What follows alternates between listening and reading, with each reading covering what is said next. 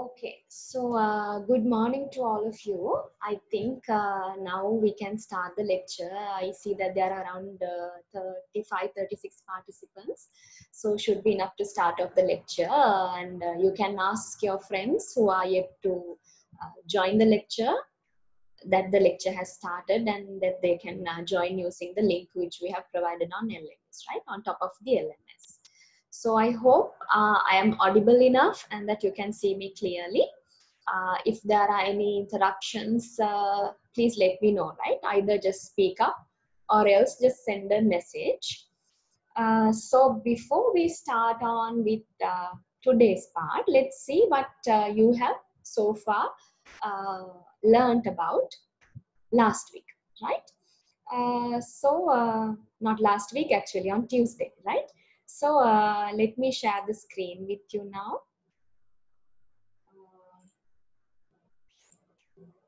So on uh, Tuesday, I believe you have started your lesson with uh, social and legal factors.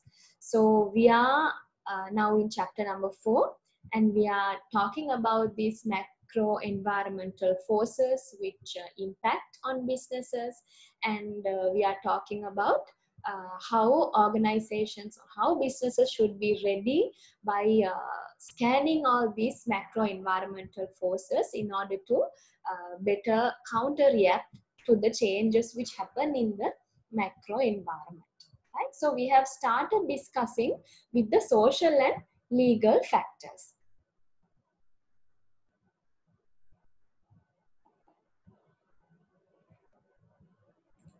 Right uh, so we have started discussing uh, about uh, what sort of factors do govern the consumer adoption of e-commerce service, right? So when it comes to social and legal factors, one of the very important aspects in social and legal factors is uh, certain uh, factors which impact on the consumer adoption to adopt e-commerce services right? What sort of factors do affect the consumers when they try to adopt e-commerce services, right? What is the impact uh, certain factors have on the consumers when they try to adopt e-commerce, right? So first thing we talked about is cost of access, right? Uh, so uh, due to certain cost barriers, right? Certain group of people are having barriers to uh, have access to e-commerce services. Mainly we discussed about points such as uh, difficulties in owning a home computer maybe because of the high expenditure involved and so on, right? And uh, we also talked about value proposition, right? Uh, do customers really perceive a benefit uh, when when they perceive e-commerce? Do they see that they can get a better benefit rather than buying uh, through usual media or offline media. What is the benefit that they have when they uh, try to adopt online methods or when they try to adopt e-commerce? Is there a better perceived benefit right? So value proposition plays another role. And also the ease of use. That means uh, the ease of connecting to the internet right? The convenience in connecting to the internet those uh, technological knowledge that uh, people need in order to connect to the internet and also uh, using certain internet service providers right? And uh, how to uh, use the web once you connect to the internet. So the ease of use also plays an important role when deciding the adoption of e-commerce services of consumers right? Then we talk about security. Uh, so uh, in reality, we know in the current context, there are so many news stories and so many uh, cases where um, frauds have happened on online transactions, right? Fraudulent transactions on credit cards and so on, right? Stealing personal information, uh, which happen over online payment uh, platforms, right? So these kinds of uh, security related issues also impact also affect on the consumer's intention to adopt e-commerce services, right? And also another thing we talked about is fear of the unknown. Generally, we all have a fear when we try to adopt something new, which is unfamiliar to us, right? So when consumers try to adapt to new uh, technological ways of shopping, buying products, right, searching for products, there is a general tendency for them to be afraid of these things because they are unfami- unfamiliar to them, right? So therefore, fear of the unknown also plays an important role when it comes to the adoption of e-commerce and also uh, certain negative things that they see and uh, hear about internet right sometimes negative things they have experienced so all these things put in together play an important role uh, when it comes to adopting e-commerce services by consumers? Then we moved on to talk about the privacy and trust in e-commerce which is also a very important aspect when it comes to uh, when we, we talk about e-commerce right? So uh, we talked that uh, privacy is a key ethical issue uh, when it comes to uh, interacting in an online platform right? Uh, and also we said that uh, there are certain privacy legislations which help to protect the privacy of the online consumers or the online uh, users in online platforms, right? There are certain privacy legislations which are established to protect our identities, right? And to protect our preferences, protect the information which we provide to organizations. Right? So these legis legislations are there to protect our data from being sometimes uh, misused by organizations, right? Uh, identity theft, right? misusing our identity by someone else without our authority right? So all these kinds of things we have talked about on tuesday uh, which we have highlighted as having a major concern when it comes to e-commerce right? Then uh, we also talked about why personal data is valuable for e-businesses. Why? Mainly because uh, by using these types of uh, data about consumers right uh, organizations can uh, better plan their marketing campaigns. They can get a better idea about the consumption patterns, about demographical features of their uh, market, right? And other things. So companies can easily profile these consumers and use this information for their marketing campaigns right? So they can send personalized emails, personalized messages, right? Targeted communications, personalized promotion campaigns, special offers, all these things they are able to do well if they have good set of information about their consumers, right? Uh, so although it, it is such, we also highlighted the fact that uh, consumers although they expose a certain amount of information to businesses, businesses have a responsibility to be ethical in using this uh, consumer information and to abide by data protection and privacy laws when they use this consumer information, right? Um, so we also here have related certain uh, types of information which businesses usually gather regarding consumers one thing is contact information. Then we talked about profile information, platform usage information, then behavioral information, right?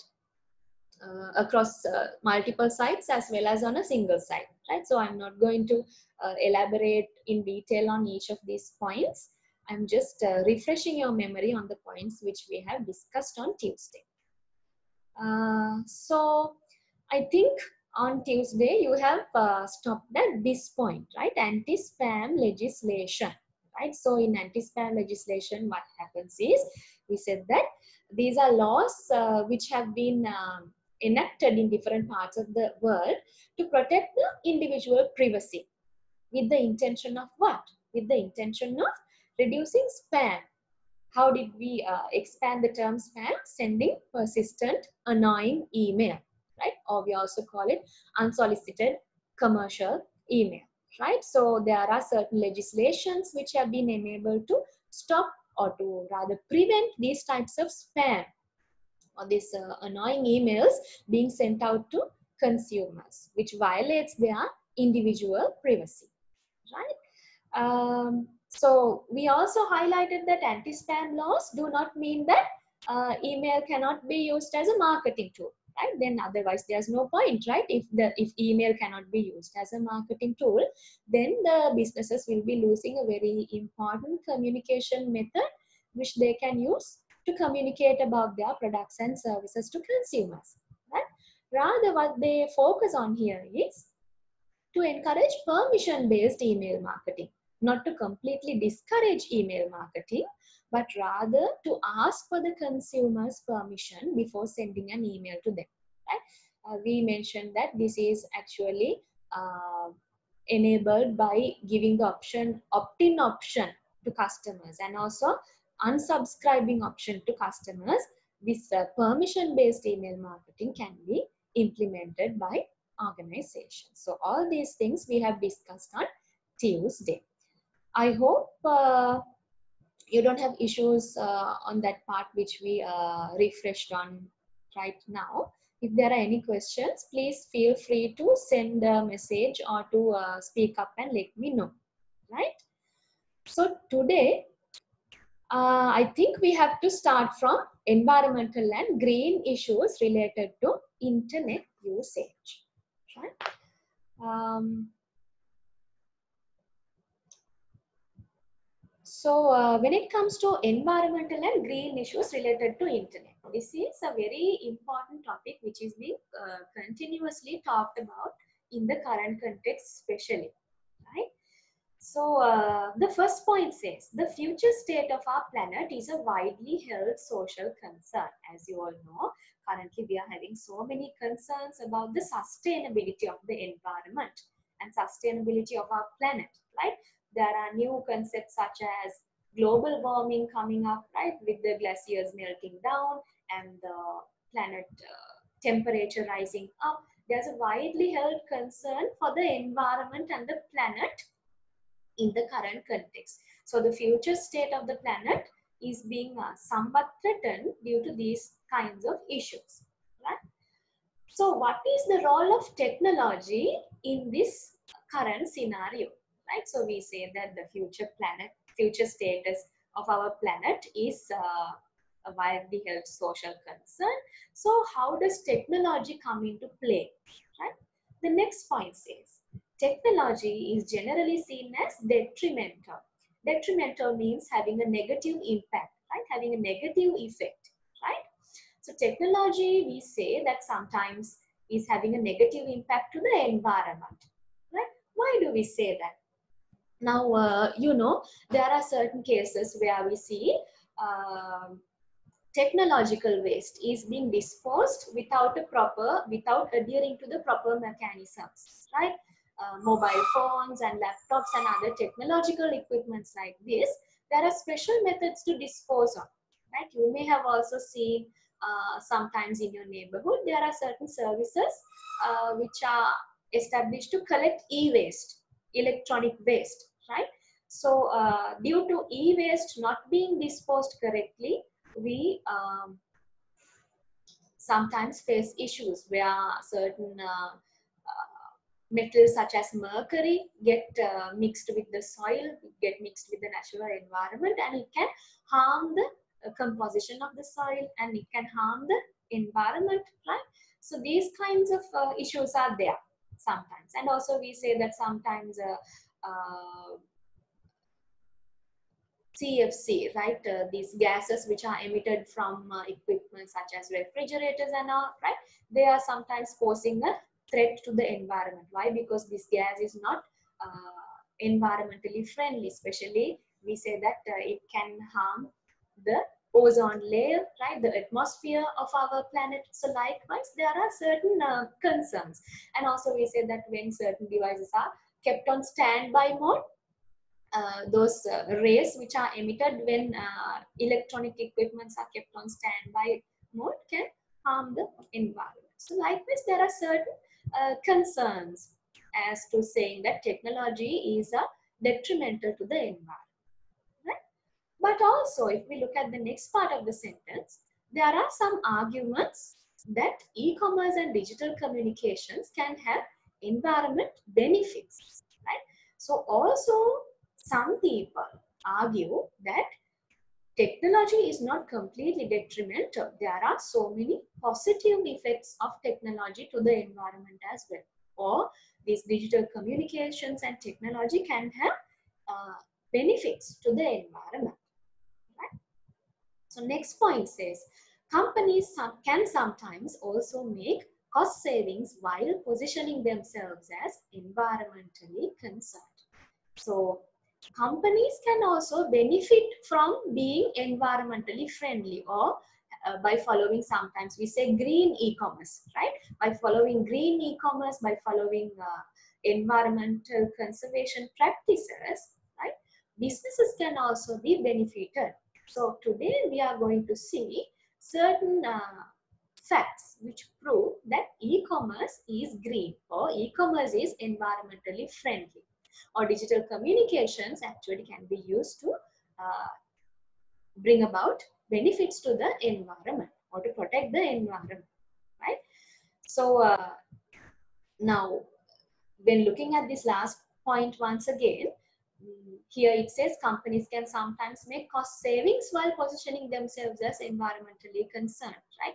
Now uh, certain organizations such as hsbc for instance there are companies which have hugely invested in this concept such as carbon trading or they try to counteract the amount of carbon dioxide that is being emitted from their business activities and from their corporate uh, travels they try to counteract the carbon dioxide emission which is being caused by their business activities right? By purchasing uh, carbon trading right? By involving in carbon trading. You can read about these concepts. There are very interesting articles about carbon trading which is being happening in the world for some time now where organizations try to reduce their uh, carbon footprint where countries are trying to reduce their carbon footprint and to reduce the emission of carbon, carbon dioxide to the atmosphere. Right? Now, for instance, HSBC, sometime earlier, they introduced digital banking, right? So when they introduced digital banking, what HSBC uh, did was, uh, they, for every transaction, for every digital statement that uh, a consumer gets on their account transactions, they planted a virtual tree in a virtual forest, right? They had a concept called virtual forest. So for every billing transaction which happens online for a consumer, they planted a virtual tree in this virtual forest. And for every 20 virtual trees that were planted, they pledged to plant an actual tree in the natural environment. For every 20 virtual plants that uh, they uh, put up in this virtual environment, they actually planted the real tree somewhere uh, on the land. Right? So likewise, these kinds of interesting concepts are being followed by organizations with the motive of um, being environmentally concerned. Right? And also they try to encourage consumers also to follow these kinds of green concepts and environmentally concerned concepts.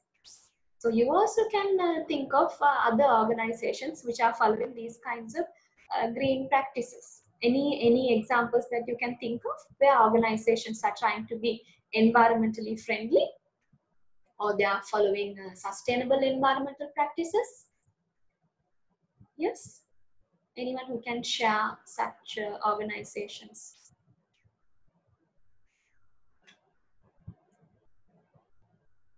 So uh, if you can think of any, you can share them uh, on the chat or, they, or you can uh, speak them up, right? Companies which you think are uh, trying to be environmentally concerned, right? So that we can share them with the class as well, right? Um, right, so So one person says Keells supermarket. So why do you say that Keells supermarket is uh, environmentally concerned? So what sort of initiatives have they taken uh, to be environmentally concerned?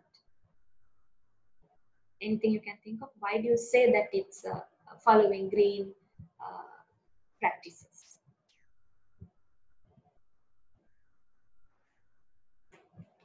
Yes? Right. So uh, now sometimes people, yes, I think we have an answer. Um right. So now uh, just because a company is promoting a green theme, it doesn't mean that they are environmentally concerned. Right? Just because they are putting up a green signboard, it doesn't mean that they are environmentally concerned. Right?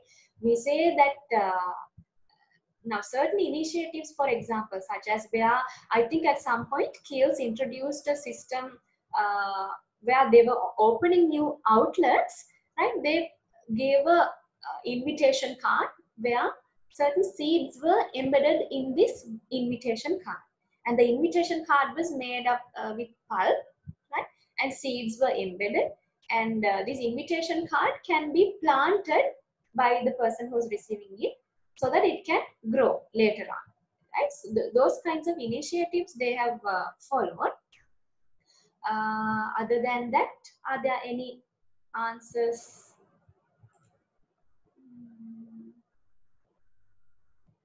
Yes so uh, in some parts of the world, yes, uh, we have an answer that McDonald's have 100% recyclable packaging. Yes, so this concept of recyclable packaging once again is a new emerging concept where organizations are trying to go green, right?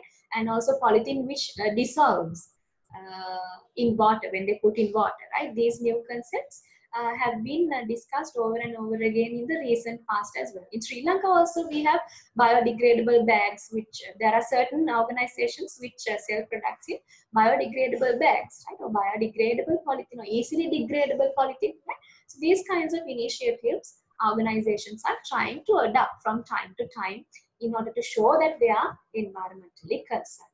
So sometimes it's not the actual case. They are trying to show that they are environmentally concerned, but uh, they have different agendas. But uh, at this point, we are concerned about uh, how these green practices can be used by organizations to make cost savings. Right? Uh, so moving on. Now we are going to see six reasons why it is believed that e-commerce is green. Right? So why do we say that e-commerce is green? One thing is lower emission of carbon dioxide. What does it say? Uh, when a customer decides to buy online, it leads to less usage of vehicles for shopping, resulting less emission of carbon dioxide. So that is true, right? So when a customer decides to uh, shop online, then they don't have to take a vehicle and visit the shop physically, right? Rather, they can just uh, stay at home and by the convenience of one click or on their fingertips itself, they have the convenience of ordering something and having it delivered to their doorstep. So this delivery part still will have some uh, emission of carbon dioxide involved, but still uh, the time that they are wasting on the road trying to search for certain shops, right, uh, in the entire shopping process can be reduced so that the total amount of carbon dioxide that is being emitted to the environment can be reduced.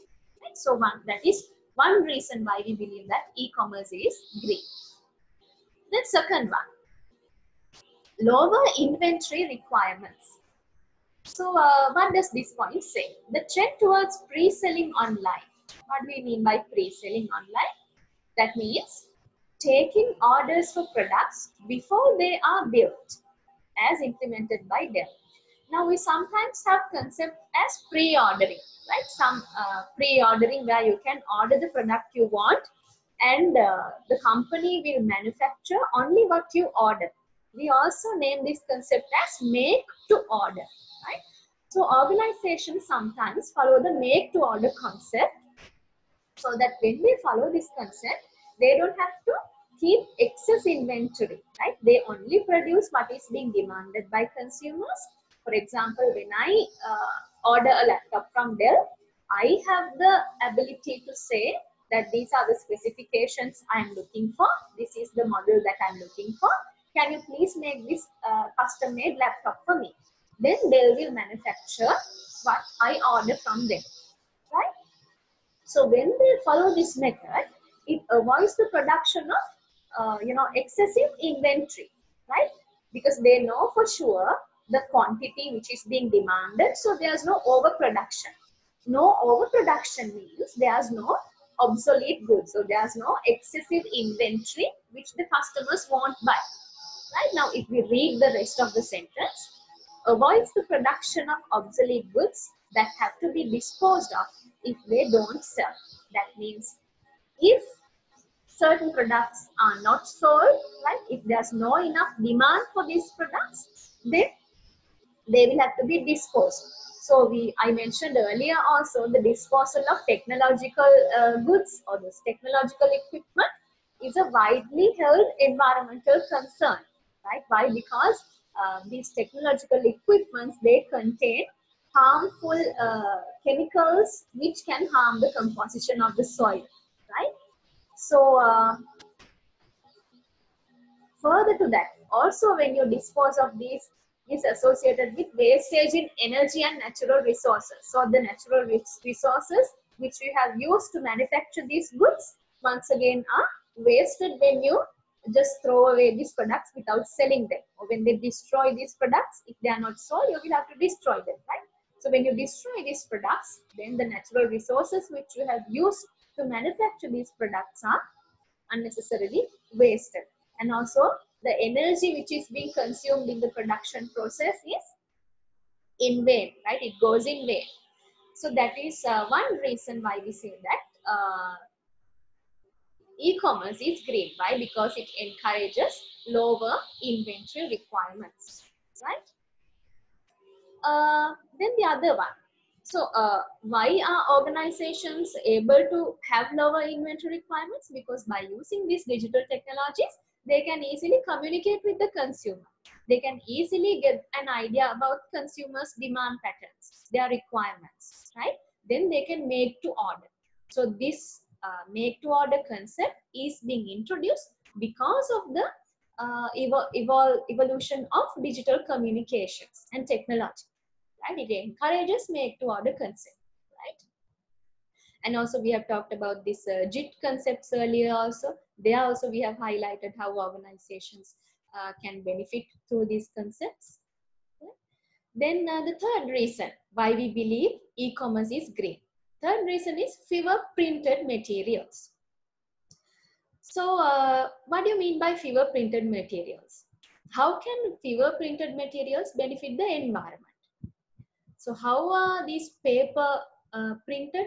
What is the material that you use in order to manufacture paper? Mainly you use trees, right? You cut down trees in order to manufacture paper. So if you are able to print uh, print a fewer quantity than you used, that means you are saving paper. You're saving paper means you're saving trees on the other hand? So online e-newsletters and brochures replace their physical equivalent, so saving paper and distribution costs. So in the current context, there are so many online e-newsletters and brochures, right? These uh, leaflets uh, concept is it's trying to be discouraged right? Also in sri lanka of course we uh, still see this concept where brochures are being circulated still but still these e-newsletters e-brochures are being circulated right through email communications through social media and also online newspapers are available. So all these things put in together help to reduce the printing of paper right? So they replace the physical equivalent right? The physical papers, physical brochures are being replaced by online e-newsletters and e-brochures so that they save the paper and also distribution cost. So we also mentioned that by following these kinds of green methods, companies can be benefited in the earlier slide, right? So here we say that uh, through these kinds of fewer printed material, the distribution cost that organizations have to incur, right? Distribution of letters, right? Distribution of these brochures to consumers, to potential consumers, to business partners, these e-newsletters and everything. So this distribution cost can be saved. So on the other hand, on one hand, they are saving the environment and on the other hand, they are also uh, incidentally causing a huge cost saving for the organization in as well. Right. So the fourth reason why we say that e-commerce is green.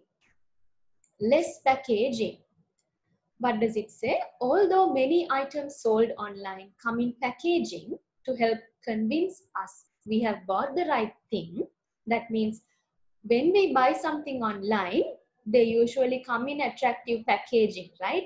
Which, which helps us to convince that uh, this is the right quality product which we have bought, right? To, uh, to as a marketing message also sometimes this attractive packaging are used, right? But although this is the case, there are also certain products which does not require a packaging, right? The next part of the sentence says, at least those billions of music tracks downloaded from iTunes and Napster don't require any packaging or plastic.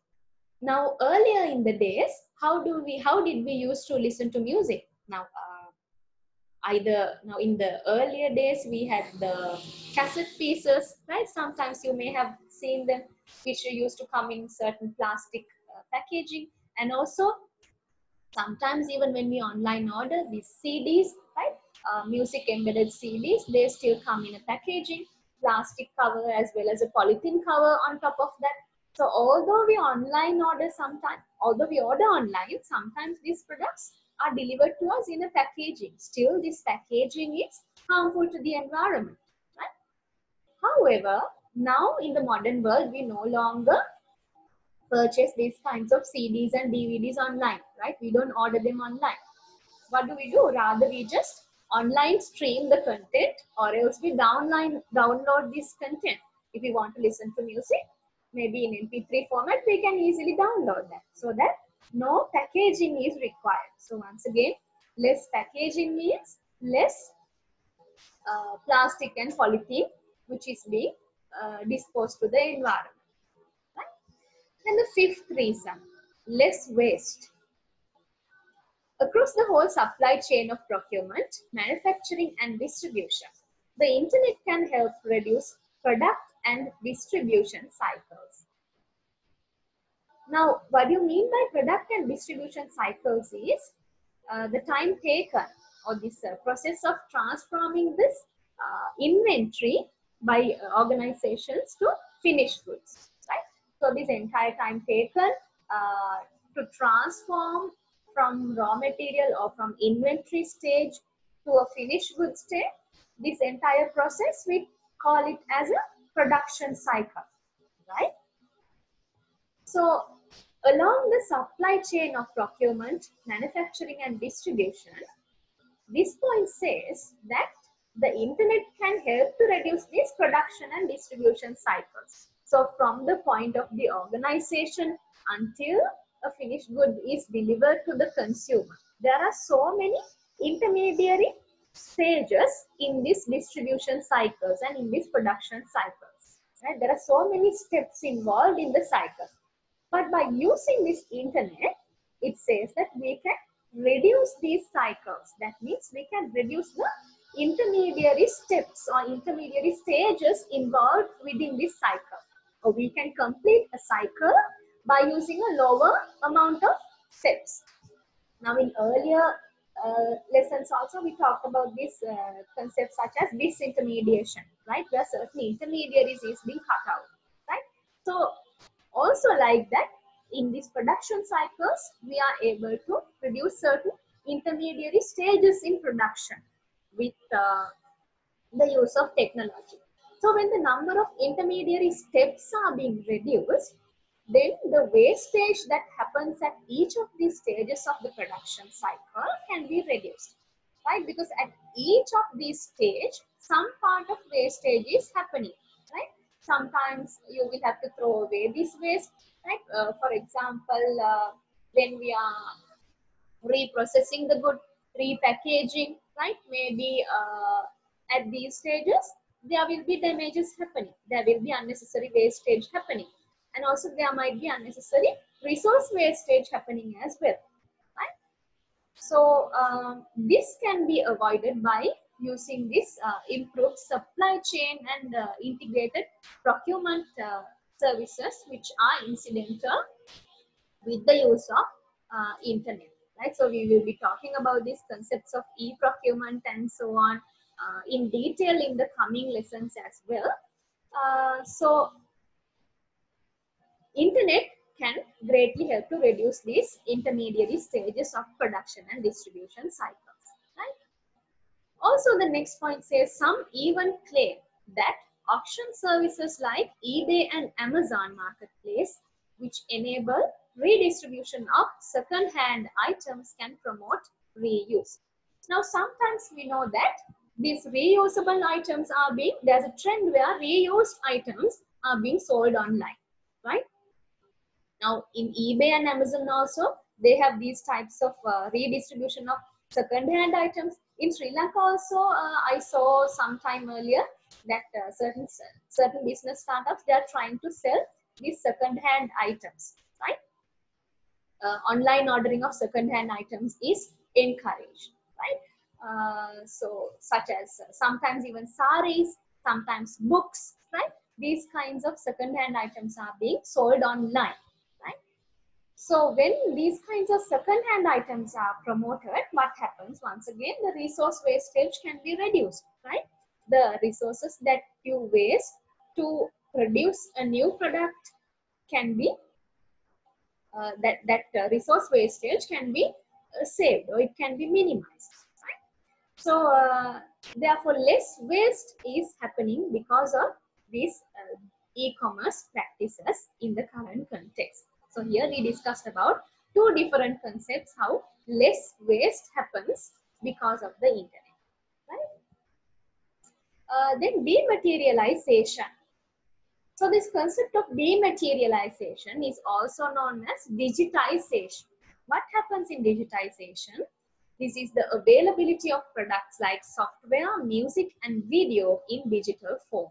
Right? So once again, like I mentioned earlier, if you want to watch a film, if you want to listen to music, right? If you want to watch a video, you just stream it online. They are available as digital goods in the present context, right?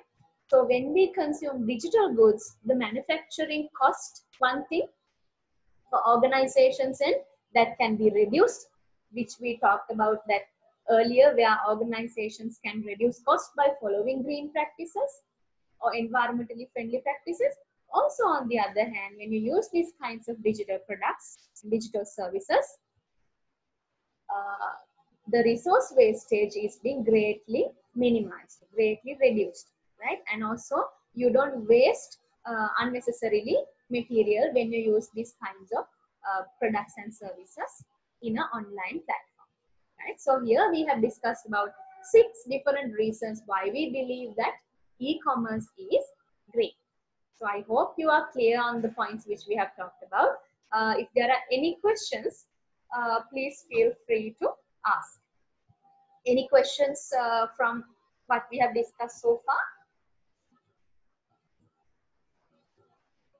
Is everything clear?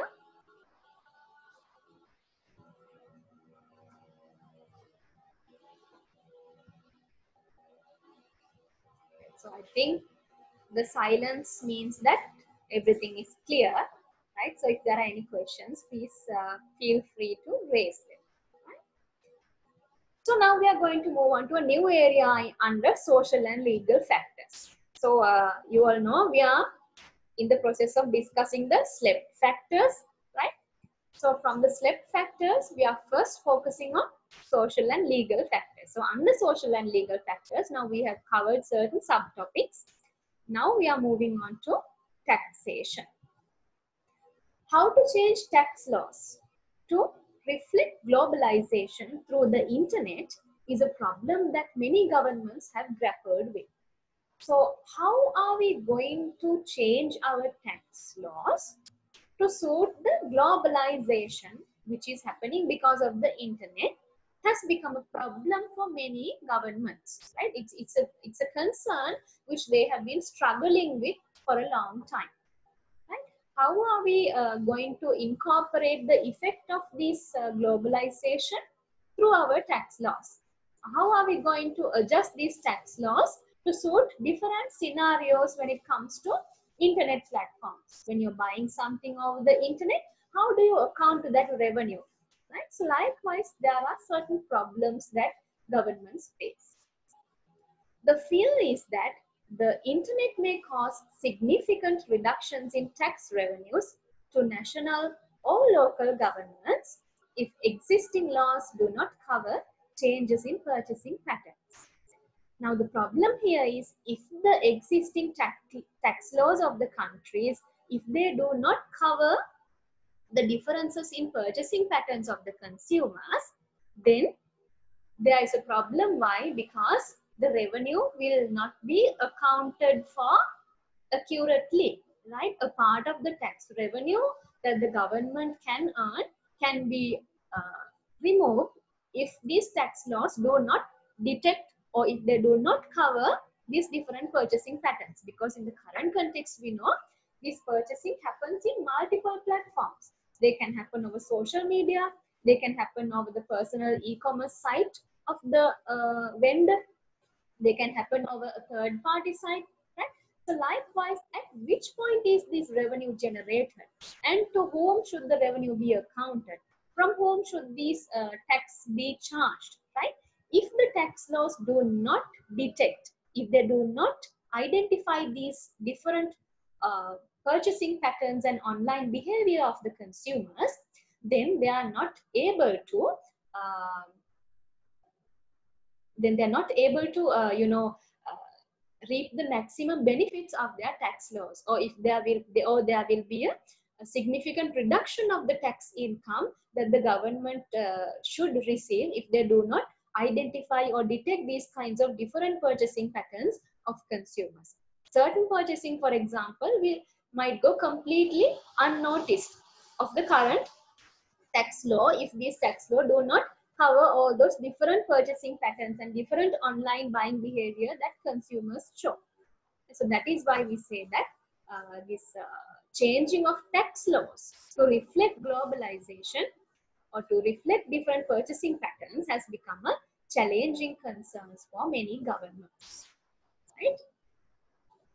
Uh, so I hope that is clear to everyone. If there are any questions, please uh, feel free to ask. Right, so now we are going to move on to the uh, next factor. Now we have talked about social and legal factors. Now we are going to talk about economic and competitive factors. The next in our SLEP category. Right? Um, so the economic health and the competitive environment in different countries will determine the e-commerce potential of each. That is true, right?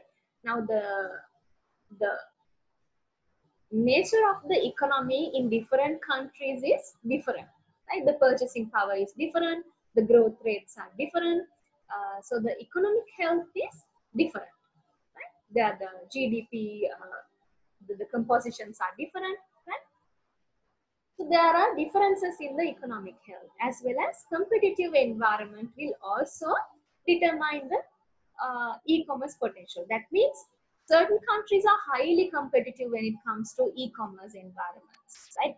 Many developed countries, if we take uh, developed companies, countries where internet penetration is very high. Now, in the first uh, chapter we talked about, we, we showed you through graphs how companies such as China are topping the list, uh, which shows uh, the highest uh, amount of uh, e-commerce transactions right over recent past. So these kinds of in these kinds of countries the competition for e-commerce services are very high. Or internet based businesses uh, digital communications the competition that you see for these kinds of businesses are very high. When compared with companies like uh, developing companies uh, sorry developing countries right when compared with developing countries so when you are trying to establish a business in a highly competitive environment, then there are more concerns which you have to be uh, paying attention to, right? Uh, it will be rather difficult to establish yourself as a, a new online brand or when you're trying to shift your traditional business to an online business or if you're trying to expand your online business further. When you're trying to do these kinds of things, right? Your potential, your e-commerce potential will be determined by the economic conditions of that country as well as the competitive nature of that environment in which you are uh, going to be taking part in, right? So managers in developing e-commerce, managers developing e-commerce strategies in multinational companies will initially target the countries that are most developed in the use of the technology. So usually when multinational companies who operate over different countries worldwide, right, who have a global operation, they usually tend to give the first priority or the first focus to countries who show a greater penetration of internet or greater uh, having a greater development in terms of technology when they try to establish their e-commerce uh, ventures right? If they are trying to for example put up a new e-commerce based uh, service line a new e-commerce based business in a certain country they will try to give priority those, to those countries who show better development in technology rather than a country which has a very low level of technological development. Right? So knowledge of different economic conditions is also part of budgeting for revenue from different countries. Uh, so that is also very important, like I mentioned earlier. The knowledge of different economic conditions is also a very important factor that organizations should consider when they try to budget for the revenues that they are expecting from different countries in which they are going to establish their business. Why? Because some countries they have uh, lower per capita income than another country. Right? The purchasing power, the purchasing parity will be different. The economic growth rate will be different, and also the penetration level of this technology towards different regions will be different. Uh, therefore, the development will be different. So likewise, these economic conditions have to be considered when you are budgeting for the revenue from different countries, right? Uh, and also not only uh, these kinds of factors, also differing tax laws might also affect your revenue from different countries, right? Different tax regulations which are incidental. This is actually uh, accounting to the earlier category which we talked uh, under the SLEP factors, we talked about taxation, right?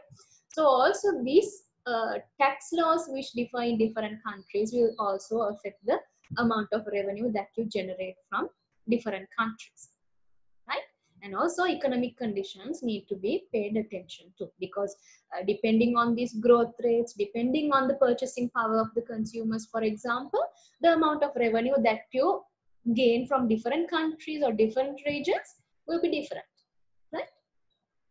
Then the next point says the trend towards globalization can arguably insulate a company to some extent from fluctuations in regional markets. That means uh, now this globalization trend can uh, provide a protection to the company up to a certain extent on certain fluctuations or that means uh, you know ups and downs or deviations which happen in regional markets. For example in the asian region you may experience that the purchasing power of the consumers is rather low when compared with the uh, let's say european region right?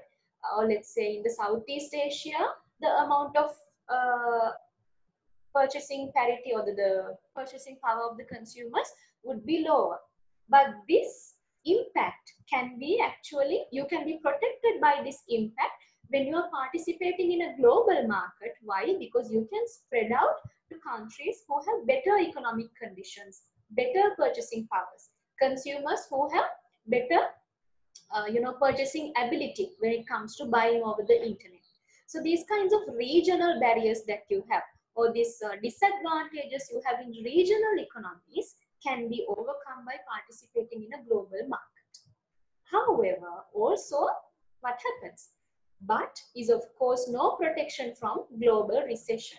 So although you are able to overcome certain disadvantages which may be incidental in regional markets, fact, certain things such as global recessions or global, global business downfalls, you might not be able to protect yourself from. So there are ups and downs and positives and negatives equally. Right? So next point, managers can also study e-commerce in these leading countries to help predict future e-commerce trends in their own country. That means Now the managers have the ability of studying e-commerce uh, in these leading countries, which we talked about earlier. There are certain countries who have a very high level of internet penetration in uh, their uh, countries. Right now, for example, if you take uh, Singapore, if you take Malaysia, the level of penetration is very higher when compared to Sri Lanka. Right, the level of access to technology is uh, very high. Access to technology by uh, citizens is higher when compared to Sri Lanka. So also when you consider companies, countries like China, right, they are leading the e-commerce sector. So these countries, by studying the evolution of these kinds of countries, right, managers can get an idea about the possible e-commerce trends that will happen in our own country. For example, Sri Lanka can study the evolution of e-commerce in China or maybe in, in Singapore when we try to predict the our trajectory or when we try to predict our path in e-commerce, right? What sort of evolutions will the e-commerce in Sri Lanka undergo? Right? We can take examples and lessons from these kinds of developing countries, these kinds of developed countries and these kinds of leading countries. So that is what this point tries to explain. So any questions so far or any doubts? No doubts.